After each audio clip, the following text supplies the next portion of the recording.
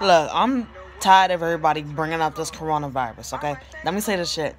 When Barack Obama was our president, there was no coronavirus at all, like zero.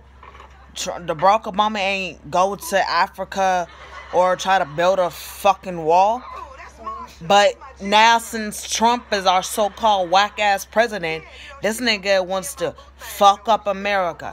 Bring a ratchet ass virus to the United States which your broke the fucking ass.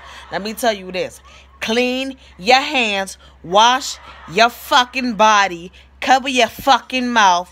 Don't nobody really fucking care about Trump. As soon as Trump became in office, all this bullshit started to happen. So I'm gonna make this clear, and I'm not gonna say it again. Cover your fucking mouth, because since Trump became our president, he's making our lives in, in this in the United States more worse than what it's uh, already been when Barack Obama was our president. So if anybody else got something to fucking say, you can kiss my fucking ass. Get the fuck out of here with that bullshit.